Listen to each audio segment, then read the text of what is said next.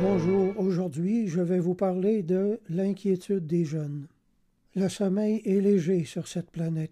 L'inquiétude rend les gens malades. Personnellement, quand j'avais 18 ans, j'étais angoissé tout le temps en pensant à mon avenir. Je ne savais pas ce que j'allais faire plus tard dans la vie et ça me rendait littéralement malade d'inquiétude. Aujourd'hui, ça fait 41 ans de ça et je suis arrivé à plus tard et je ne sais toujours pas de quoi va être fait le jour de demain. Mais c'est très différent depuis que je suis devenu un disciple du Christ, je vois la vie d'une autre manière.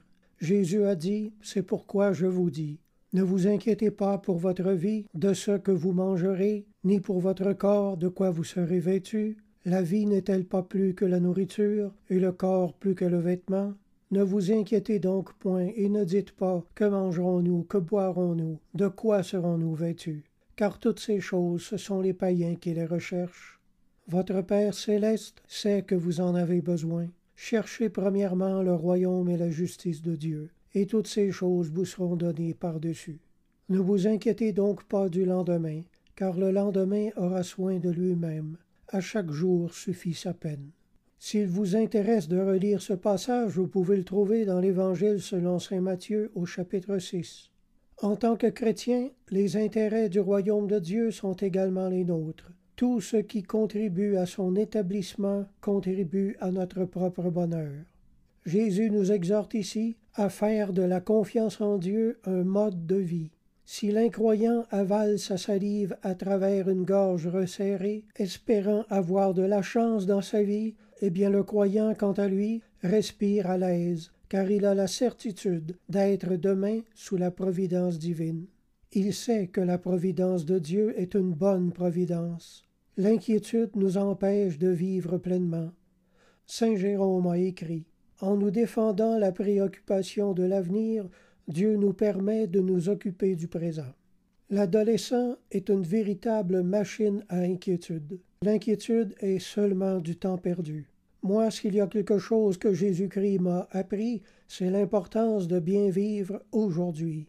Hier est passé et demain n'est pas encore arrivé.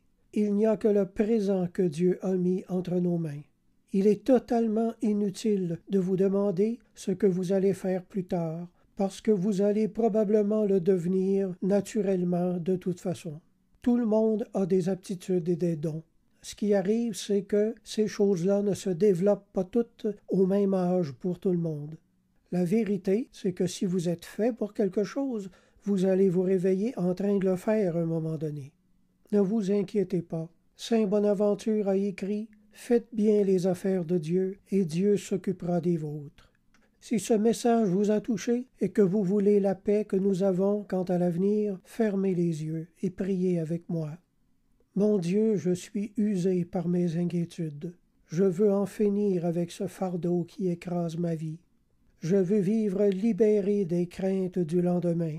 Je veux, moi aussi, faire confiance totale à la bonne providence de Dieu pour moi.